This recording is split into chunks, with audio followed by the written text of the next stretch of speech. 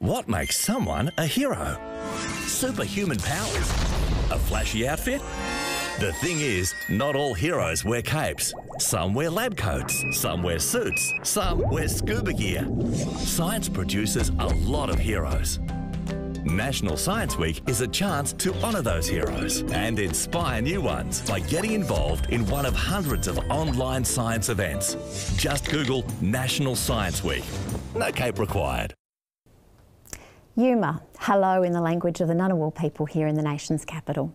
I'm Misha Schubert, the CEO of Science and Technology Australia, and together with Questacon, the nation's science and technology centre, we're delighted to co-host this virtual launch of National Science Week 2020. Let's begin properly by grounding ourselves in place and time. We broadcast today from the traditional lands of the Ngunnawal and Ngambri peoples of Canberra, and we pay our respects to elders and ancestors, knowledge makers who have deep connections and knowledge of this place in our country. For this place has been a meeting place for Indigenous leaders in science, technology, engineering, and maths for thousands and thousands of years.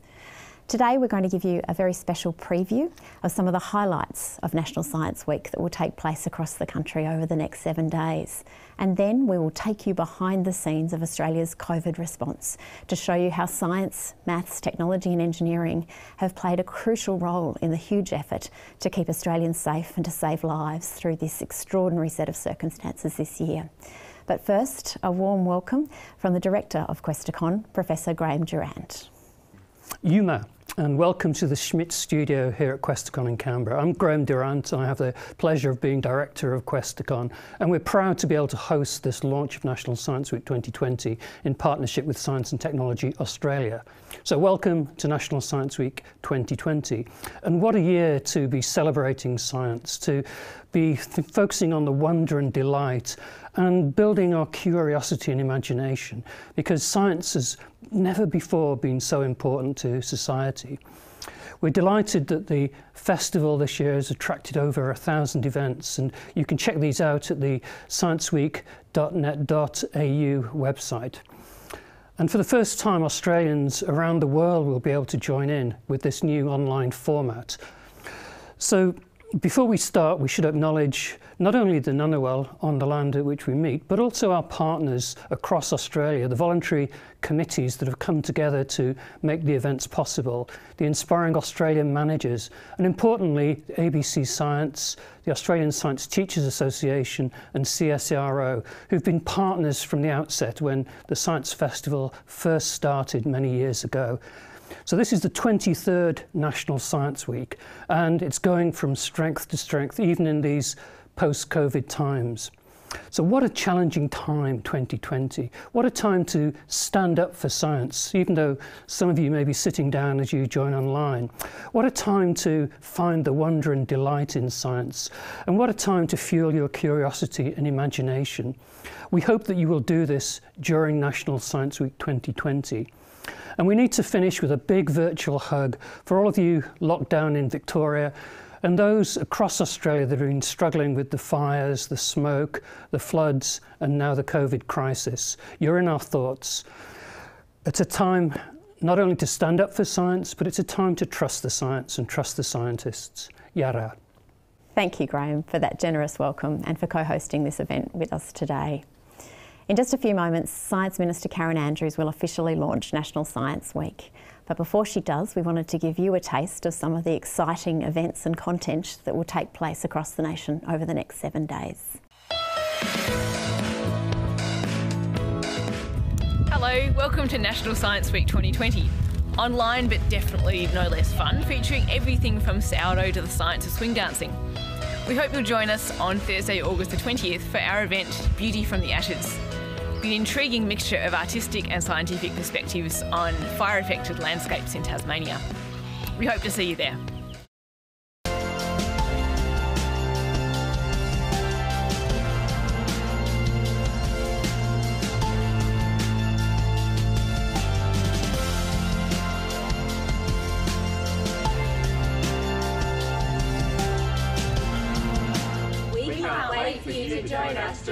National Science Week in Queensland.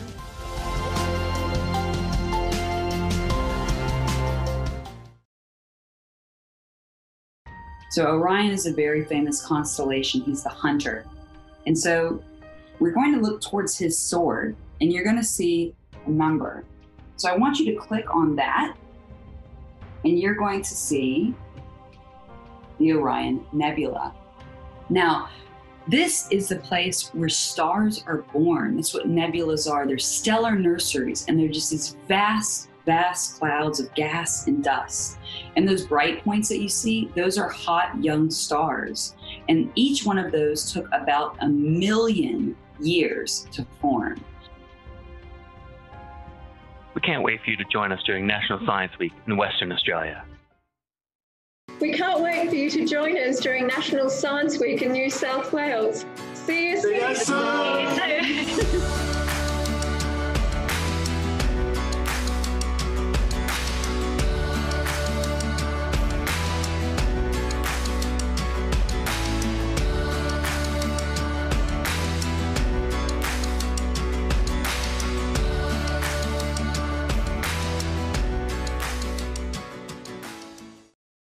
Have you ever gazed at the stars and wondered how you could become part of the next great space adventure? Join Cool Aeronautics to learn more about the launch of sounding rockets from the Northern Territory. Discover how scientists are using satellites to track bushfires and monitor climate change. Explore 3D metal printing and learn how these new technologies can be used in space. Join us during National Science Week to start your next great space adventure. We can't wait for you to join us for National Science Week in the Northern Territory. We'll see you then. I'm David Ranson, a forensic pathologist here at the Victorian Institute of Forensic Medicine. I investigate deaths in the community, murders, mass disasters and so on. A lot of my work is depicted in films, books, television shows, but do they always get it right? Join us as we initiate Virginia Trioli into the world of fascinating forensics. We can't wait for you to join us for National Science Week here in Victoria. Hello, I'm Carl Charter from Experiencing Marine Sanctuaries in South Australia. For National Science Week, we're running a video series called The Weird and Wonderful Creatures of the Great Southern Reef. Please join us to meet the sea dragons, dolphins, sharks, and rays of the Great Southern Reef without getting wet. We can't wait for you to join us during National Science Week in South Australia. Ah, I'm so glad you're here. Detective Dave from Brisbane Science Festival Online. Hey guys, sorry I'm late.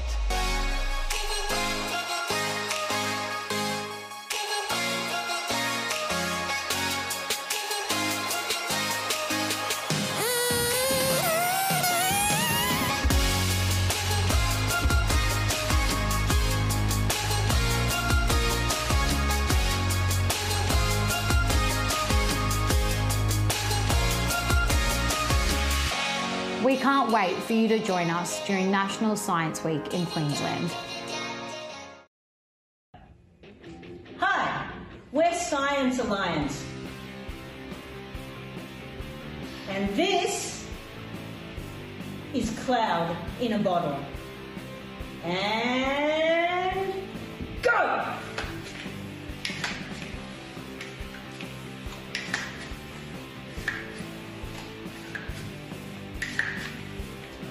And stop! Yes. I'll see you from Science Week. And see you this Science Week and see you there. See you there.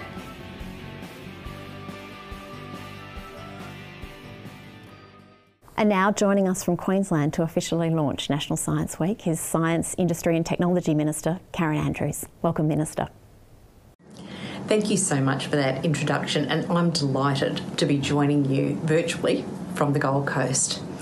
National Science Week is one of the very favourite weeks in my calendar every year. I really do look forward to it. And of course, who would have known that this year was going to be so significant for science and our science communities as we all work together to deal with the COVID 19 crisis?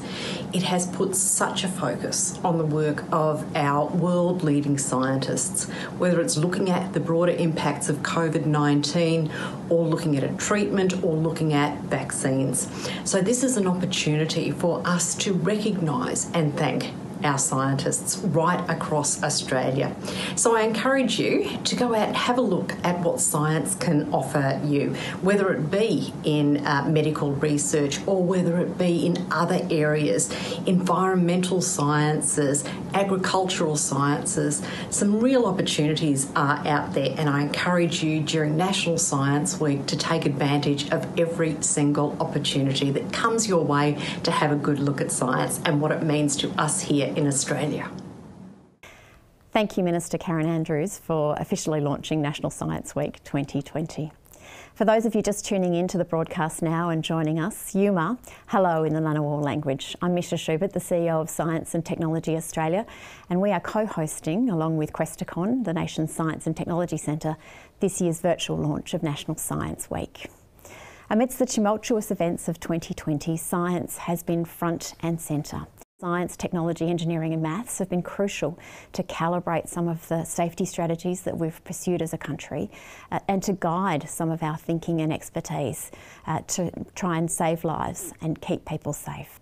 So, today, as part of this launch, we're going to take you behind the scenes of Australia's COVID success and show you how maths, science, technology, and engineering have played a crucial role in keeping Australians safe and saving lives.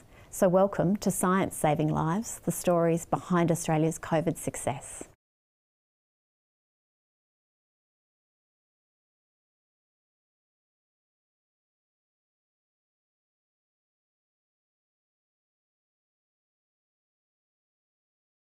So, welcome to Science Saving Lives, the story behind Australia's COVID success. Joining us today uh, Professor Allen Cheng, who's played a key role as a technical advisor to the AHPPC and who's also got substantive roles with Monash University in Melbourne and at the Alfred Health. Professor James McCaw, who's a mathematical modeller from the University of Melbourne and the Doherty Institute in Melbourne, which has also had a crucial role throughout this extraordinary experience. Dr. Kudzai Kanhutu, who's a leading infectious diseases doctor at the Royal Melbourne Hospital in Melbourne, and who's also played a role in assisting aged care homes with testing throughout the Victorian experience of the last few months. Dr Deb Eagles, the Deputy Director of the Australian Centre for Disease Preparedness at the CSIRO in Geelong, and Professor Paul Young of the University of Queensland, who, along with his team of brilliant young scientists, has been leading the research effort on one of the leading candidates for a vaccine for COVID 19. So, to begin, let's cast our minds back to January and February of 2020 and reports that were starting to trickle in uh, and around the world about something that was happening in China. Professor Allen Cheng, can I start with you? Take us back to those months and the reports that were starting to filter in here to Australia and how people in the infectious diseases and epidemiological community were looking at that information with the benefit of that strong scientific skill set and starting to think about what the implications might be and what we might be seeing, and particularly how that set of thoughts and conversations might have led you to a telephone call one day with a chap called Brendan Murphy. Yeah. So we, in infectious diseases, we have a, a mailing list that um, uh, the media reports of new viruses and new things uh, that are happening um, around the world um, are, um, are published. And uh, towards the end of December, actually, there were there were a couple of reports, and it was what's called in the in the term a RFI, a request for information about um, these uh, case clusters that were happening um, in uh, China of, of pneumonia. And then I think it was about the um, the sixth or seventh of uh, January. There was um, uh, some reports to say that uh, they'd identified as a new coronavirus, and we sort of immediately knew that this was pretty significant because um, we'd had MERS coronavirus and SARS coronavirus in the past. So um, that sort of put our uh, antenna up. But obviously, MERS coronavirus isn't um, anything like uh, this coronavirus. So um, we really didn't know exactly so how serious it was going to be. So, but as sort of the weeks went on, it was starting to look more and more important. There was more reports coming out of um, uh, China and uh, uh, reports that uh, uh, that you know they were going to lock down um, you know parts of China and uh, and that obviously meant that um, they were taking it very seriously. So, um, my background is um, in influenza, and obviously, pandemics are a big uh, feature of influenza. So, uh, and um, uh, run one of the surveillance systems uh, for uh, influenza in Australia, looking at um, hospitalisations. Um, so, um, uh, I got a call from um, Brendan Murphy saying, um, you know, something's going on. Um, you know, what do you think um, about what we should do? And um, I think there were a couple of conversations, and then he said, "Would you mind coming on to AHPPC to um, uh, give a hand with give, giving expert medical advice and epidemiological advice to um, the country. So that obviously was a pretty big um, moment for my career, but uh, you know it's a really important um, uh, feature to have um, people that understand um, uh, epidemiological uh, data and can synthesize all of this to um, to help. and and I, I, think you know with the public health response, the, the public health physicians are so busy with responding to what's happening. It's often helpful to have someone that ha- actually has just a little bit more time um, uh, to actually go and being able to read and synthesize all this evidence and put it all together for them. And Professor James McCaw, that's a lovely segue into your role in this uh, set of events as well, because around that same time you were also one of the other technical experts who was seconded into that group. And you've got a really interesting background in physics and mathematical modelling uh, and in public health responses as well. Tell us a bit about how that skill set came to be crafted and its application to the sort of things that we were seeing in those early phases about the preparatory work, including some modelling you might have done late one night. Yeah, so um, my first formal involvement uh, with COVID 19 was on, I think, the 16th of January when the World Health Organization called to um, uh, an informal meeting of mathematical modelers and infectious disease um, epidemiologists uh, to hear some evidence that it looked like the, the virus was more widespread in China than um, the case reports at the time based on um, how many cases had turned up overseas over um, the last, you know, the early part of January. And it, it took a, another week or so through to mid January to, to first uncover that there were more cases. Once the authorities started doing more testing, they rapidly found um, more cases. And it took, during that week, it became more and more clear that this was a transmissible virus between human, directly from human to human, and um, that's really what set the alarm bells off. Uh, like Allen, uh, I suddenly found myself with a, I didn't get a personal phone call, but I got an email saying, can you please uh, present to the um, AHPPC um, on the current modelling based analysis um, of that pandemic? And it was in late January. And uh, we then, with my close colleague, Professor Jodie McVernon, um, we were on WHO teleconferences every few days for, for a couple of weeks.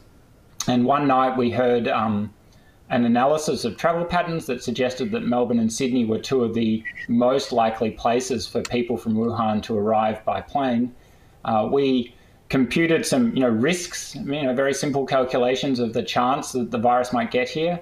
Um, uh, wrote to Brendan Murphy that night about 2 a.m. I think Jodie wrote the email, and it was more. It was within 48 hours uh, that the borders were closed with China and that really set the stage for now six months or so of um, very regular meetings and um, mathematics based interpretations of what's going on to try and help support that uh, public health response.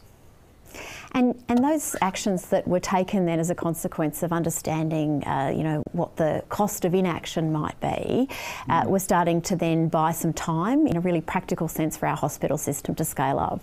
And Dr. Kudzai Kanhutu, can I bring you in here to perhaps talk to that piece, that those valuable, precious weeks of time that were bought whilst we were looking around the world to understand what was happening in other countries that uh, had experienced that first wave earlier than Australia, what was happening in Australia's hospital system during that time, and what were you thinking and, and witnessing from colleagues overseas?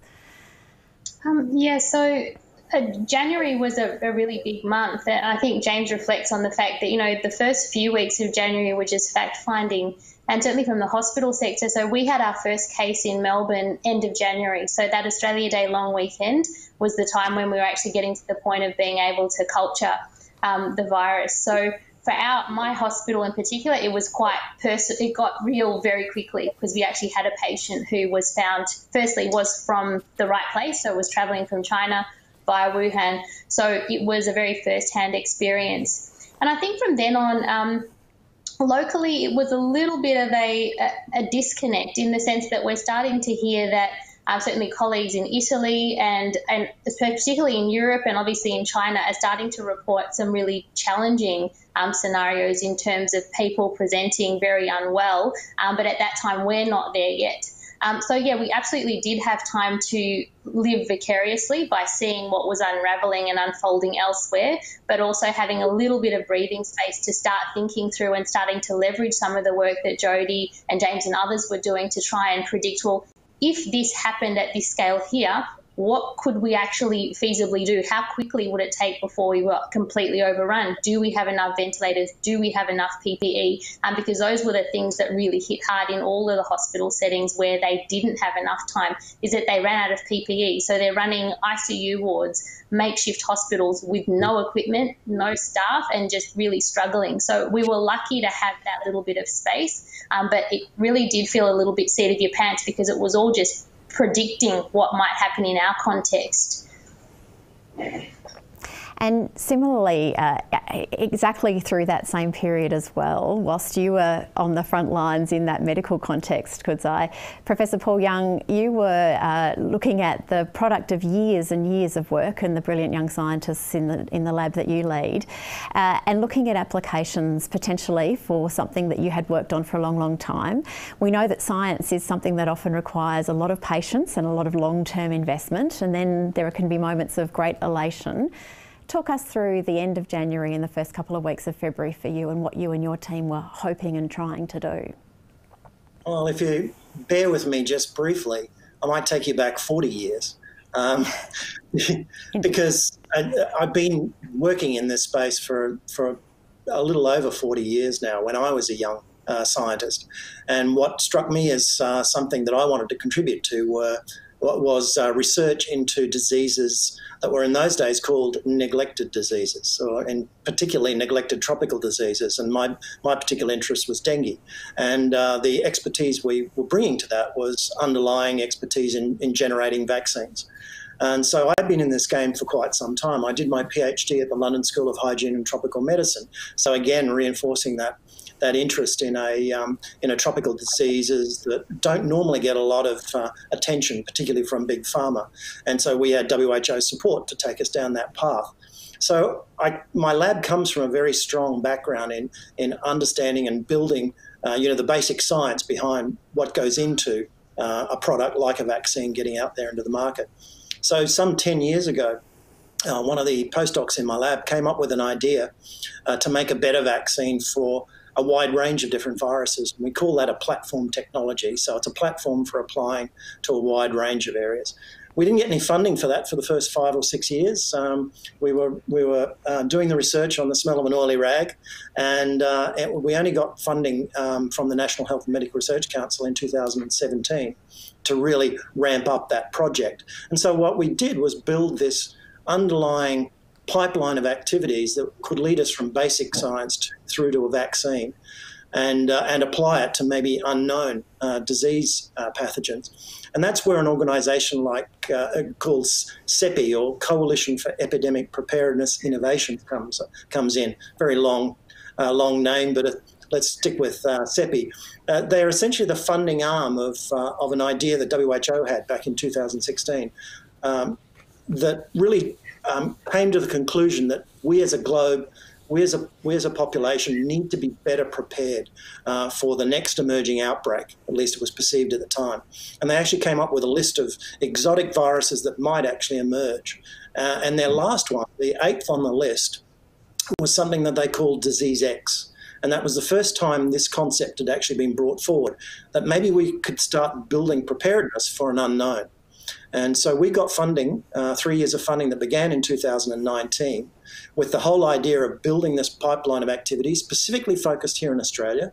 So we had partners in Melbourne at the Doherty Institute, CSIRO, and at the Australian National University uh, to build this um, pipeline of activities that we could plug together to lead from an unknown to a vaccine in a very short period of time.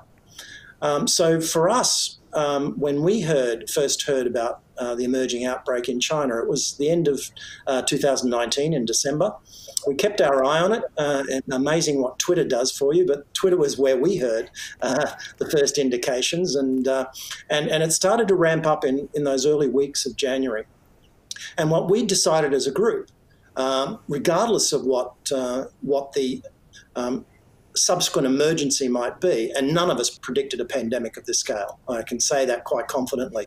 Um, not of a coronavirus, anyway. I mean, the next pandemic of this scale, people thought might be a flu, uh, an influenza virus, but we didn't really predict uh, another virus spreading to this scale. Nonetheless, we had this pipeline of activities, and we thought, well, when the sequence comes out, we'll we'll grab that sequence and apply it, and just see how well we can do.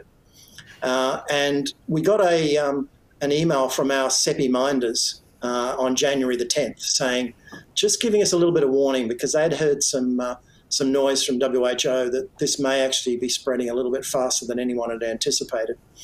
Uh, it just so happened that January 11th, uh, the uh, um, Chi- uh, Chinese plus an Australian collaborator, Eddie Holmes, announced the sequence of this virus. And so within 24 hours, uh, the folks in the lab had designed our first constructs of a vaccine. So our vaccine doesn't actually need the live virus. We can just go straight from sequence information. And so we designed our first constructs by uh, January uh, 12. And uh, by January the 21st, we were well underway in, in, in analysing that. But we got another email from uh, our CEPI minders saying, well, actually, we want to trigger this uh, we would like to fund you to take uh, development of a vaccine all the way through uh, clinical trials into deployment, should it be successful. And they gave the University of Queensland 48 hours to make the decision as to whether we'd sign up to that. Um, so I can tell you it was a frantic 20, uh, 48 hours. Our, our, VC came in on a Saturday morning. I've got the shot of him in his shorts and his t-shirt uh, sitting at the uh, university um, major executive conference table signing off on the contract deal and uh, thus began the uh, you know the now six months into uh, uh, the development of a vaccine with a number of very important partners. Um, through an, a number of critical stages, so that we actually have that vaccine in clinical trials right right as we speak. So, a number of uh, a number of individuals have had that vaccine uh, injected into their arms, and we're going to be monitoring their responses, and we'll get our first feedback in October. I'm really pleased you've mentioned preparedness uh, because yeah. that's a lovely note on which to bring in Dr. Debbie Eagles, who's, of course, the Deputy Director of the Australian Centre for uh, Disease Preparedness at the CSIRO's facility in Geelong. And one of the things that strikes me, has struck me repeatedly throughout this experience, has been watching this collaboration between this network of institutions that have been built over decades and decades worth of investment and capability building. Debbie, talk us through the role that your centre plays in this part of the puzzle and that work of trying to understand how this virus actually works, how it might change over time, but also um, what some of the preparedness activities need to be around preparing for that moment when, if and when we get a vaccine path, to uh, test it to, to, success and then to uh, deploy into a manufacturing setting in Australia. Yeah, thanks, Misha, and um, really happy to follow Paul because, uh, firstly, uh, our sort of background and, and work towards this has been very similar to what Paul's described. And he's also uh, uh, spelt out CEPI, which means I don't need to spell out CEPI again because I uh, I'm sure I'll get it uh, get it wrong if I try to. So, um, look, very similar sort of background and path to where we are here to what Paul described for um, his U- University of Queensland team. So at ACDP, it's been a very long path around um, uh, sort of preparedness, mitigation, and uh, response for disease agents, infectious disease agents. And really that started for us around um, animal health disease agents uh, 35 years ago when the centre was first built, but moving towards um, what we call zoonotic disease agents, so those that infect um, both people and animals. So um, some of those have been mentioned by others here already around uh, influenza, obviously the broader coronavirus group, things like Hendra and Nipah. And it's really um, been very much around developing the capabilities for all aspects of preparedness for those diseases and ability to respond. So, development of diagnostic assays, development of preclinical models for vaccine testing, um, a range of different skill sets and capabilities that can really only be built over time. And um, you, have uh, noted, Misha, the, the importance of collaboration, and I think that's been absolutely vital in terms of our ability to respond uh, quickly. Um, and Paul's noted that as well, obviously, and others have talked about engagement with WHO and so on that that um, preparedness piece and those existing collaborations has been absolutely essential for us to be able to um, sort of jump onto this quickly, build on those existing collaborations, and share with each other. And a really important example of that is um, around the first isolation of the virus in Australia from the Doherty Institute. There's no way that we could have done any of the work that we're doing now around preclinical models for vaccine testing um, and then ultimately some of the virus survivability work, um, genomic work, and so on. None of that could be happening without that um, interaction and support from the Doherty and their willingness to share that virus with us and, and with others internationally. And that's just one example, and that's happening um, on a range of different fronts, um, both nationally and then at, at, an international level through existing um, and developing collaborations. So for us, that's led to, as I mentioned, um, evaluation of um, a number of vaccines, again supported by CEPI, as, as Paul's indicated, um, and equally looking at um, survival time. So really wanting to understand uh, uh, how the virus survives in different temperatures and humidities, for example, and that can then feed into um, policy to uh, modelling and so on. So we better understand disease uh, transmission and, and, the risks associated in different settings. So, um, as all the others have indicated, that sort of long standing development of capability, that preparedness piece is absolutely important, and those existing collaborations are vital. And in terms um, of some, yeah. go on. I was just going to ask, um, just picking up on that openness and transparency. Um, it's been such a defining factor of this, um, sort of from the where I sit and see it as well, and I think it's just worth saying a bit about. So, among our epidemiological community, we've we've continued those WHO meetings, sharing uh, scientific findings prior to preprint. So even before they're released to public, we're often meeting as groups up to 100 people now sharing results, actually using video conferences as an informal peer review mechanism, and then the work's coming out on websites. It's being shared publicly, codes available, and this is an amazing endorsement of this open science movement, in my view. Um, it's enabled us to share knowledge rapidly around the world. Um, our group in Australia has helped the Canadian government with some modelling. Um, we've learned a huge amount. Um, as Allen well knows, in Australia based on other groups' um, epidemiological analyses. And that openness um, is, is, has been so important to, to the response to date. It's a terrific point. Paul, jump in. Yeah, I, I, can I just support that? I, quite frankly, it's, it's unprecedented. Um, yeah. The level of collaboration right across the globe, uh, from I mean, we as vaccine developers, um, I, think we probably would be um, collaborating even more with the practicalities of um, our different approaches if it wasn't for the fact that we're all moving so fast. I don't think uh, we've really had the, the, the uh, chance to um, collaborate in the context of joining uh, forces. But what we're doing is sharing information, sharing um, you know reagents and so on that each of us could use. Uh, there are countless numbers of um, night, nightly teleconferences around the world. Australia always gets the short shrift with that. and we always in the wee hours of the morning talking to our American and uh, and European colleagues. Uh, but you know, even even down to the journals uh, where a lot of this work is being published, we now have you know, people placing their data straight up online so that people can access it before it's been peer reviewed. And when it's been peer reviewed, it goes into journals, and most of the major journals are not putting them behind paywalls. So, in other words, you don't have to have a subscription to these to see that data. It, it really is an unprecedented global uh, interaction, and it's just been wonderful to see. And I just hope, maybe beyond hope, but I just hope that we actually progress and and stay on this path um, post this pandemic, and we start dealing with science in this way in the future, at least in, in uh, partially in this uh, this sort of collaborative way, because it's been incredibly fruitful. Let's hope I we think it's also muscle memory. Go on, Deb.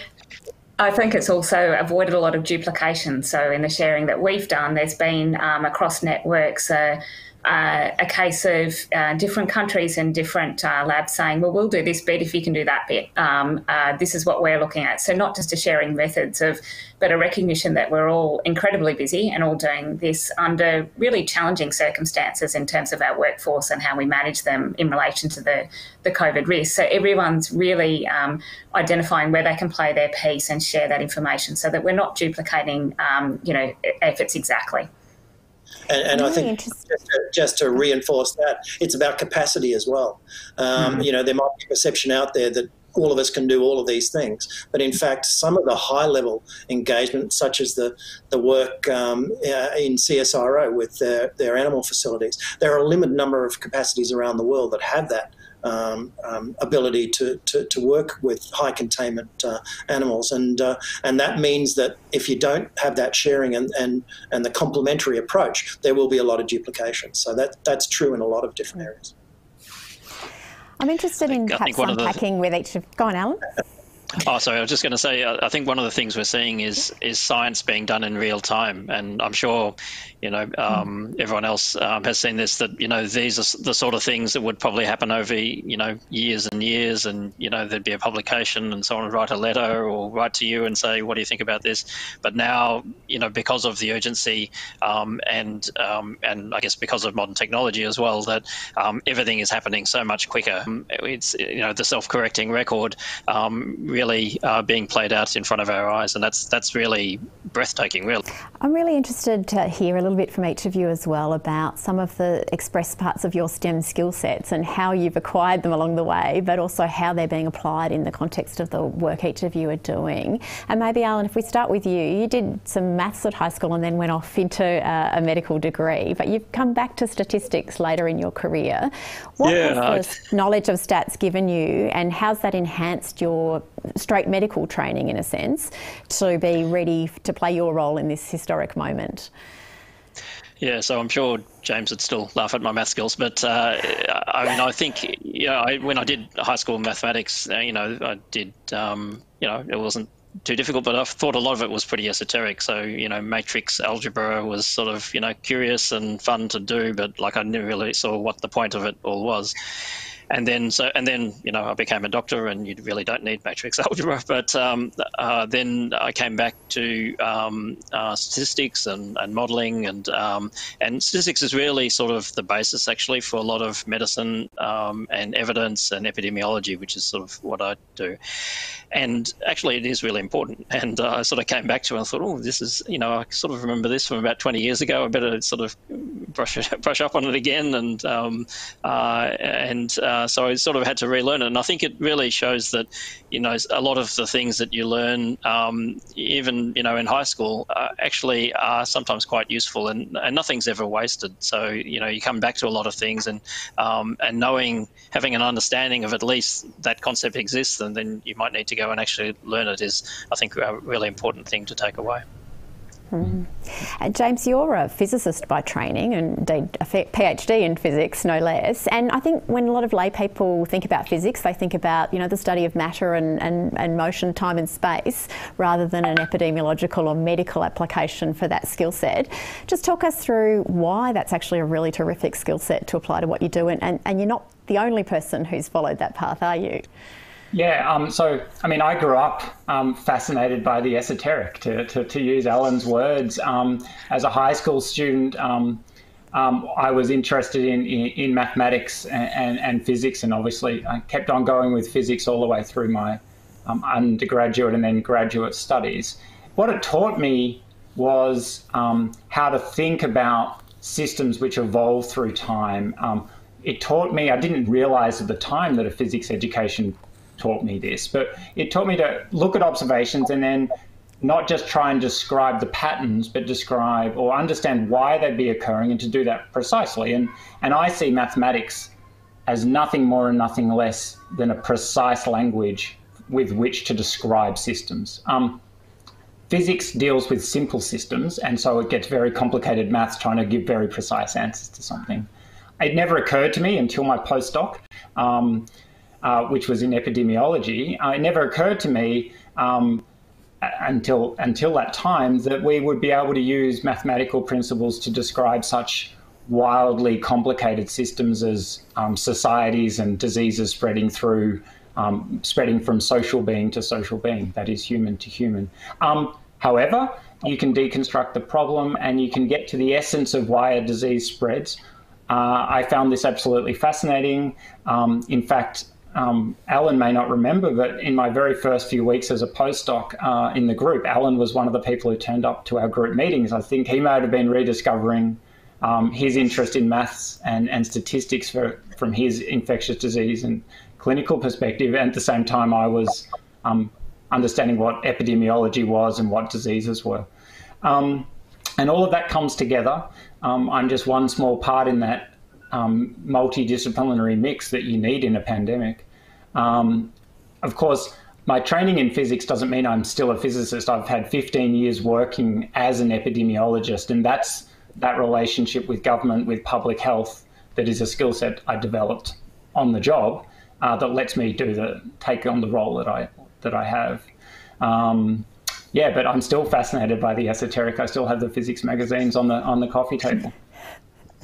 Uh, it's terrific uh, exhortation to become cross-skilled in, in, in, all the disciplines as well. I love it. Um, say you've got a training that's also really interesting uh, to me as well. You've, you've come through a, a, medical pathway, but you've also had this long, passionate uh, interest in technology and its application in the medical context, haven't you? Tell us a bit more about that and, and particularly whether there have been applications out of that cross-mix of skills in this experience of the last few months. Yeah, absolutely. I think what all boils down to is that I'm just really nosy. If I can be in things or, or know what other people are doing, I'm all over it. And I think it'll all reflect, particularly for people who work in the infectious diseases community, they're all really great. They love to communicate. We love to share. And that's one of the beauties of working in this particular field. Um, so for me, that interest in technology really arose from that telescoping forward and thinking through what it could mean when the technology collides with the things that we already know and love. And it's actually that intermingling and the sort of chance encounters between things that seem to be not related and how that translates to, you know, to, to medical care and what's happening in the pandemic.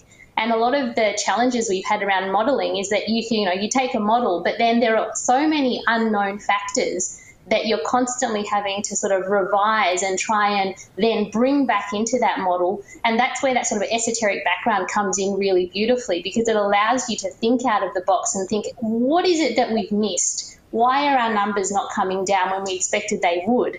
Who do we need to get in here who maybe is thinking slightly differently about this problem that will allow us to solve that next challenge that is just around the corner? Um, so for me, that interest in technology is very much the same. Often, when new technologies come on board, it's not 100% clear how they can be applied, um, but it's only over time and that sort of repeated iterative cycle of reflection and sharing information that you actually can see what's possible with everything that's on the table. So, mix of curiosity and just wanting to see how you can apply different tools into new contexts to yield a, a different answer. That, that's one of the best answers to that question I have ever heard. Indeed. So, Paul, let's hear your variation on that theme. Uh, tell us about, talk to us of structural biology and protein chemistry and, and how all the bits of your skill set, what they are and how they have been directly applied in the, in the hunt for a vaccine. Yeah, that, that's perhaps getting a bit specific. I mean, I, I was going to start as, as, as, I was listening to the others, start with uh, the unending frustration of my parents that I used to take things apart to work out how they uh, how they ticked. I mean, uh, that was my introduction to the sort of technical component of uh, of uh, science, and I, I got a chemistry set when I was twelve, and I think it was history from then. Uh, but I also have a my eldest daughter is um, became a theatre producer and now is a freelance writer, and we often have the conversation that we are very alike, and and we are very alike because we're both creative thinkers, and and it's about it's about that creative component. I think building on on that last beautiful answer, I, I it, it's you know pulling things from from all different directions to to come up with answers to a very complicated issue. Um, we can only do that because of that um, deep training that we have in problem solving, working as teams, and that's what makes um, makes scientists scientists, right? So, I, I, mean, in my specific case, yes, it's um, a lot of years of doing structural biology, understanding how viruses are made, uh, so that we can identify which bits of them we need to focus on to develop vaccines for, using genetic engineering to express those proteins and how best to do that. We wouldn't be in the position we're in now if technology hadn't moved with a lot of those good ideas, and we're now able to make um, recombinantly synthesize these proteins at very high levels and uh, so we can move it out of the laboratory and into a uh, into a large scale manufacture. This vaccine will be pointless if we couldn't manufacture it at scale, and so that's the that's the step we're going through now, working with our partners at CSL to actually uh, deliver on on the early early good um, early good results. So it's a combination of things, but I'd go back right to the to the core of you know um, the problem solving abilities, the uh, ability to work as a team, the ability to um, collate information and, and, to describe that as a uh, as a cohesive story, so others can uh, buy into your story and build on it. Um, communication in science is probably the most important component of all of that when you add it all together. Unless you can bring in uh, colleagues and, and partners along with you on, on your uh, journey, then it's going to be impossible to actually build on the, the collaborative whole. So, uh, so it's about it's about those skills I think that are most important, rather than the the detailed understanding that I've built over years of just looking at the nitty gritty. I love that answer because it conveys the genuine sense of excitement that I feel whenever I hear you talk about what you're doing.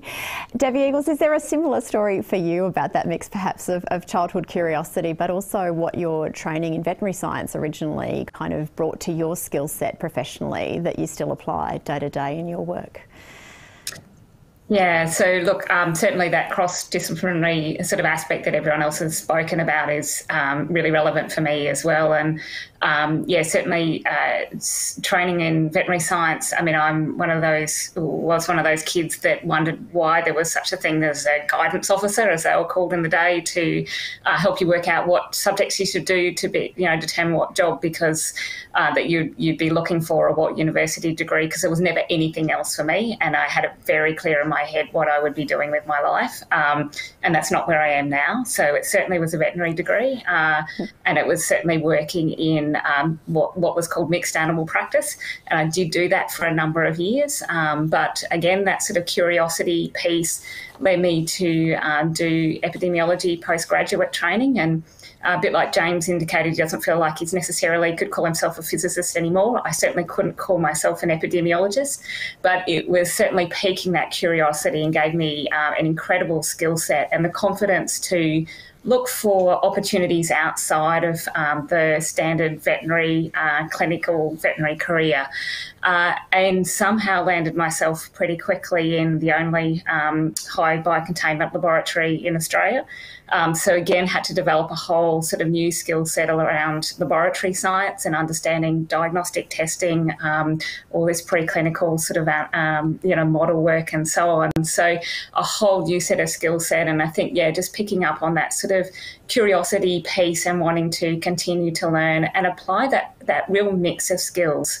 Um, to me, being able to integrate um, what we're seeing in the field, what we're seeing from an epidemiological perspective, and what we're seeing from the laboratory um, is absolutely essential to answering scientific questions rather than um, uh, having sort of a siloed approach. So um, I'm an um, kind of not not quite a jack of all trades and, uh, and, and an expert in none, but you know I think bringing that broad range of skill sets is actually really important to um, answering uh, scientific challenges. Terrific.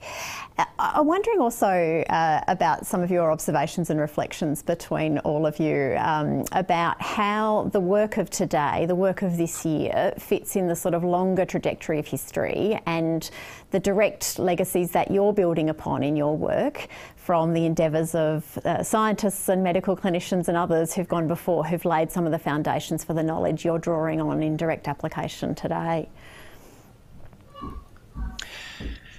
Look, I, I, mean, I think science is very iterative, and it's about teams. And you know, one of the criticisms of like the things like the Nobel Prize is that it, it makes people think that it's about that person, and it very rarely is. Um, you know, we build upon, you know, years and years of work. Um, you know, the the background that um, you know James's um, mathematical models go back to Bob May and Roy Anderson, and then actually even before that, there were you know whole Kendrick and McCormick um, back uh, in the 20s, um, you know, just started describing some things and they've been refined and refined over time. So um, to end up where we are now. So, um, you know, there are big discoveries that are sometimes made in science, but actually most of it is sort of incremental changes and refining things and a new way of thinking about things or working with colleagues in another interdisciplinary area to um, to refine um, the tools that we have. So it's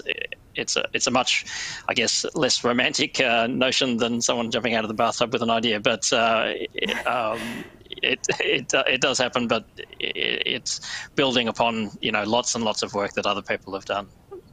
That's a lovely invitation to invite you, James, to explain to our audience who, who was the late uh, Lord May and uh, his Australian contribution to the world more largely. Yeah, so um, Bob May uh, was a physicist in in Sydney, uh, I guess in the fifties, and um, and and then during the sixties and seventies, I guess. And I'm not a historian um, by any means, but um, he discovered an interest in ecology and realized or made a point in a, in a famous uh, paper in Nat- Nature or Science, I think it was in Nature in the 70s, that systems that display very complicated behavior can be perhaps described by some very simple rules at times. And, and that doesn't mean that it's always the case. Sometimes complicated behavior has complicated explanations.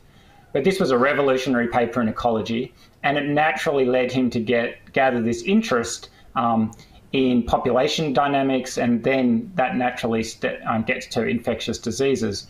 Um, it turns out he then spent most of his career um, at Oxford in the United Kingdom, um, and he very sadly died this year, not that long ago, actually. Um, but I sort of had this interesting link. So, as an early physicist, um, one of his um, uh, sort of a, a, colleague or a collaborator um, happens to be my PhD supervisor in physics.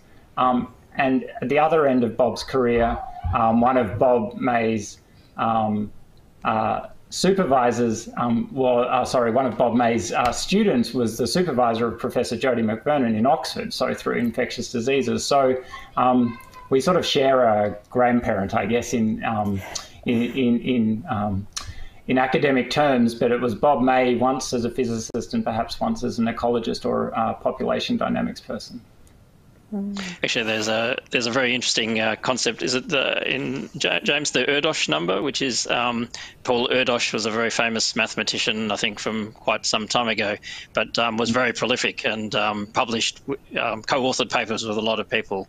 And the Erdos number is how many people you are from Paul Erdos himself. And actually, I think most mathematicians are sort of within four or five. I think I, my number's five. James would probably be two or something. But um, but it's you know there are degrees. Of, there, there, are sort of degrees of separation um, between all scientists, and um, that really just show, sort of shows how interlinked everything is.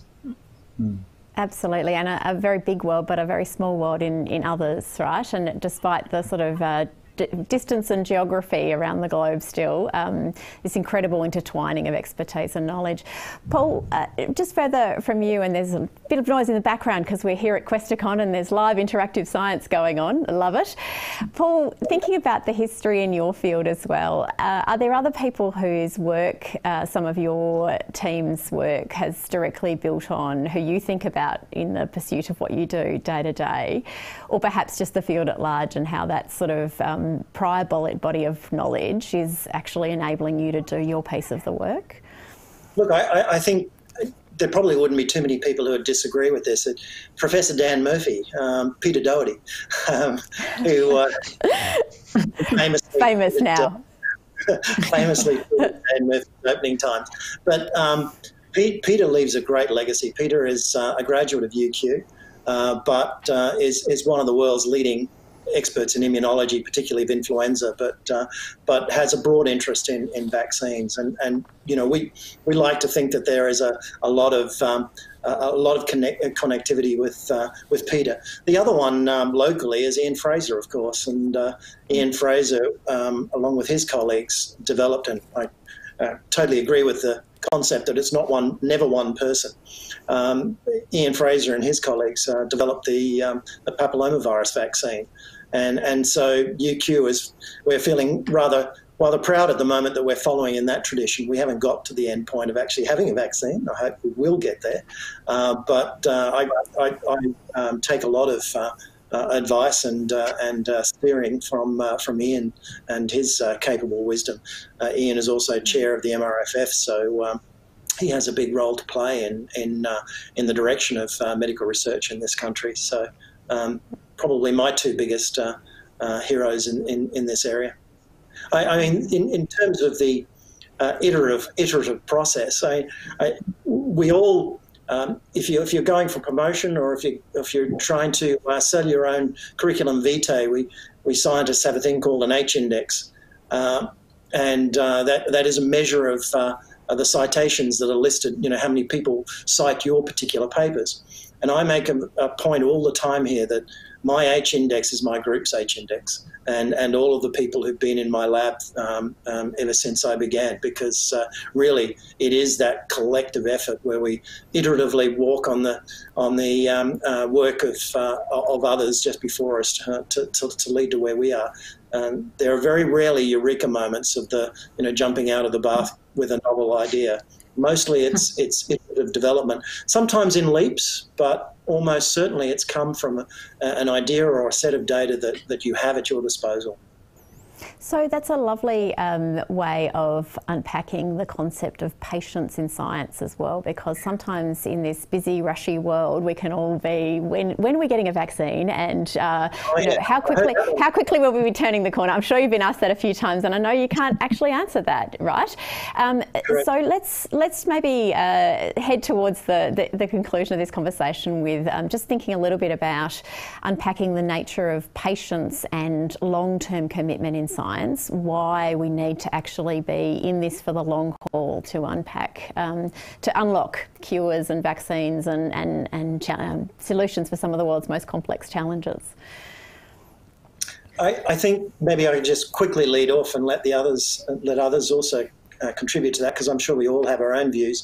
But um, it's about discovery, and uh, if you're not pushing the bounds of discovery, uh, then um, uh, you're not failing if you know what I mean. Uh, failure is just a way of, of uh, teaching you a little bit more uh, to allow you to progress. It's the one thing that I uh, advise fresh honours students. So the, the, students who are straight out of undergraduate um, training where except where they're embedded in a laboratory where they're doing some work. Mostly, we you're taught facts and, and you know taught how to work together and so on, but it's all written down in textbooks and it seems fairly straightforward. The first thing you learn in an honours year where you're actually following your own project is things don't work quite often. And uh, you need to learn patience to, to develop through that. And also the, the knowledge that something that doesn't work can be much more informative than something that does work. Um, if things don't work, it's they don't work for a reason.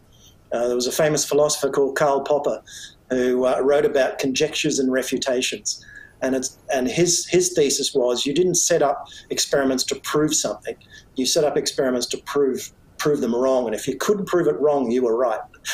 and then if you actually think that through, that's a far more robust way of actually proving a hypothesis. Um, so patience is what you absolutely require to actually push those boundaries of, uh, of knowledge and, and really uh, be truly uh, discovering something new.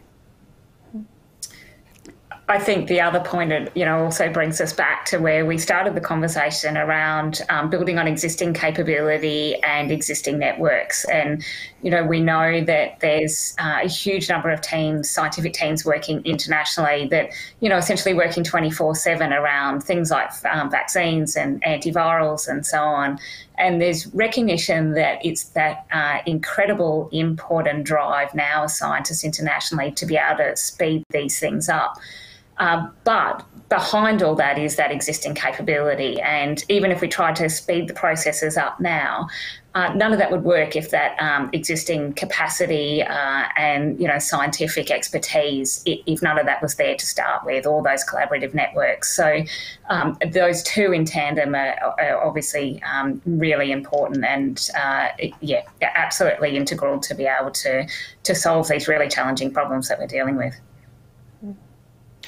Mean, I think one interesting point is that I guess we're sort of a lot of us are on the more applied side of um, science, um, but um, you know, there's basic science is really, really important. Mm-hmm. And you know, as an example, you know, cor- cor- coronavirus virology um, would have been you know a pretty esoteric branch of virology, and if I call it esoteric, it's really, really esoteric.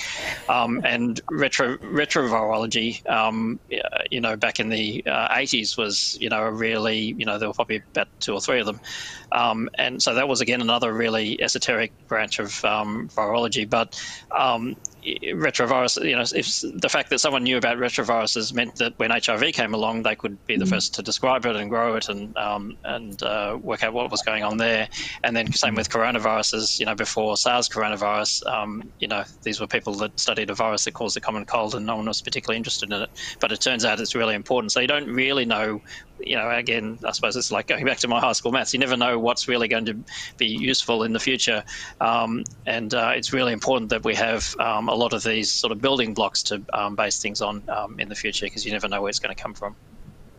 The same thing goes for the mathematics, of course. Um, you know, as a very applied mathematician, I'm asked about um, what it's like to work in a department where lots of people aren't interested in applications. And my answer is that it's wonderful. I mean, the reason that I can do what I do is that there are mathematicians um, fascinated by the, you know, the internal grammar of the bit of mathematics that they're looking at, or whatever it happens to be. And you know, from that grows knowledge. You know, that's how we um, cultivate knowledge and develop understanding. And sometime, somewhere in the future, someone may, may or may not uh, use that theorem or that, that understanding to, to do something sort of in the immediate practical sense useful.